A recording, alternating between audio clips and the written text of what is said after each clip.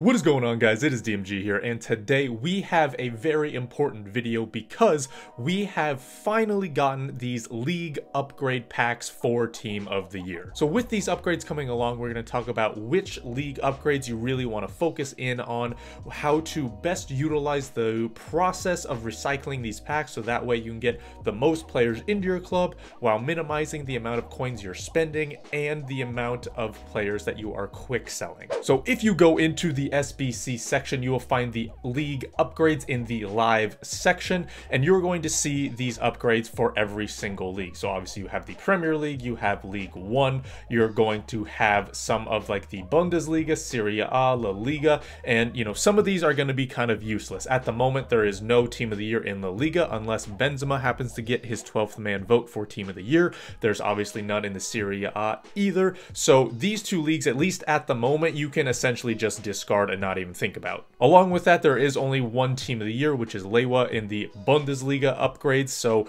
you know, if you want to go about that, you can, but the best leagues that you really want to focus in on are going to be the League One and the Premier League upgrades. So if you're new, there are going to be two types of upgrades. You have the regular upgrade, and then you have the premium upgrade. The regular upgrade here is essentially a premium gold pack, except without all that filler stuff with the contracts, the kits, and anything like that, where you are going to get three players from that specific league, one of which is going to be rare. Meanwhile, the premium upgrade is essentially a premium gold players pack, but you get 12 players from that specific league, and three of them are going to be rare. Now, obviously, the premium upgrade is going to give you a better chance because you get more players, you get more rares, but that also means it is going to be a little bit more expensive. So, if you take a look at the premium upgrade, the one where you get 12 players, three of which are going to be rare, you have to put in 11 rare players and you have to get 45 chem. Now, the 45 chem is not that bad whatsoever. However, you do have to get some chemistry on a few players in order to get to that 45 chem. Meanwhile, the regular upgrade, which is going to give you three players, one of which is rare, is going to require just 11 non-rare golds and is only going to be 30 chemistry. Now the price for the non-rare golds at the moment are going to be, I believe, 350 coins, which is what I saw. So if you buy all of them for 350 coins, and if you're quick with it, that means that you are going to be spending a little under 4,000 coins. Meanwhile, the rare golds are going to be at around 700 coins each, which means that if you get all of them at 700 coins, you are going to be spending a little under 8k. Now to best utilize the recycling process, you do have to use both of these types of upgrades. You don't want to focus just on one or the other. If you use both, then that's going to give you your best chance at getting a team of the year or just getting some high rated fodder for some SBCs. And it is going to be best utilizing your coins and the players that you get as well. Now, before we start the actual recycling process itself, let's discuss the differences between choosing between the Premier League and League One because it's not as simple as, oh, I want a Premier League team of the year. I'm going to choose that. There is a little bit of nuance in it. So this little graphic from FUTWIZ shows that you are going to be more likely to pack a team of the year from the French league compared to the Premier League, just because of the amount of rares that you have in League One compared to the Premier League. That being said, if you do want to go after the Premier League team of the years, you absolutely can by all means. You can do whatever the heck you want to do. You can go after team of the year Lewa for all I care, all right? It's your decision, but that graphic may or may not influence what you actually want to do, so I just thought I would show it. So now let's talk about the actual recycling process. I have made this nice little graphic here, which took me 17 hours to make.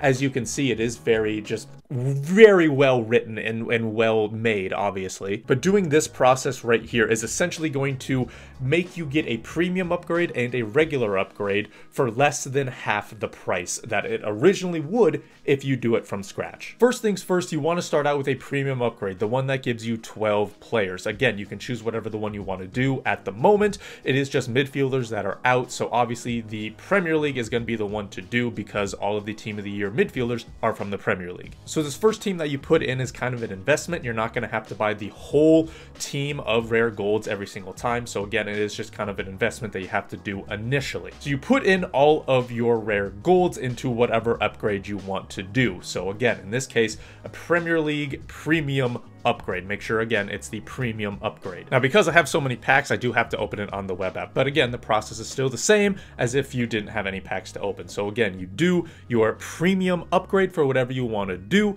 and you open it immediately. You don't stock up a couple, you just open it right away. Now, obviously, the chance that you do get a Team of the Year are still very low. I'm not saying it's going to work every single time. But in this case, what happens is you get, again, three rare golds, and then you get nine non-rare golds. You're going to go ahead, store all of them in your club, and any untradables you're going to try to replace if you can. In this case, thankfully, I can, which is great. So now you have three rare golds and nine non-rare golds. What you're going to do next is go and do just the regular upgrade, not the premium one, just the regular one. Again, this one is going to be only 30 chemistry, but keep in mind, even getting that chemistry is going to be extremely easy to do because we just got nine non-rare golds from one single league. So again, the chemistry is not going to be an issue. So here are the nine non-rare golds that we got from that pack. Now for this specific part, you are going to have to go out and spend 700 coins to get you those two non-rare golds. Now in the future, you don't have to do that because of some of the process in general. You're not going to have to buy more players. You're already going to have 11 non-rare golds in this section. But similar to investing in that premium upgrade initially, you're going to have to invest in just two non-rare golds here. But again, in the future, you are not going to have to do that. So let's say I already had those players. This little section right here is already going to be free. So we exchange these players and then from it, we get three Premier League players one of which is going to be rare. So again, from this, you get three players, one of which is rare, two are non-rare. Again, you're going to go ahead and store them in your club, simple as that. You're going to go ahead and go back into this SBC section, and you're going to go ahead and do now the premium upgrade once again. Now remember, we got three rare golds from the premium upgrade that we first invested in. So now we have four rare golds that we do not have to spend coins on. Simple enough, right? Along with that, they're all from the same league as well, so getting the chemistry is going to be a little bit easier to do this time around and for the foreseeable future. So from here, this is where you actually have to spend coins. Again,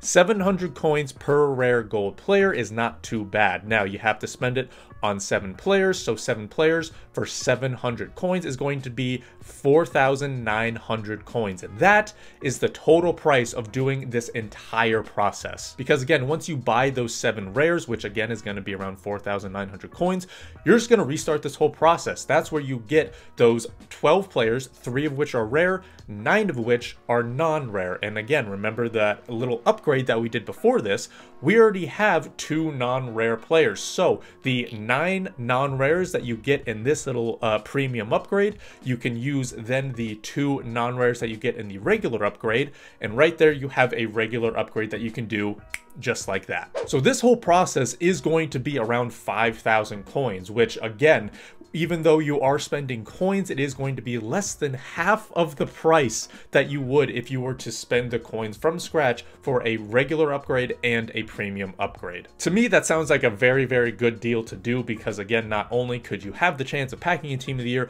but you could also get some very good high rated fodder that you can use for SBCs that are certain to come out in this team of the year promo. So that is going to do it for this video. If you do have any questions over it, please let me know and I'll try to help you guys out. But like I said, that is going to be it. Thank you guys so much for watching. This has been DMG.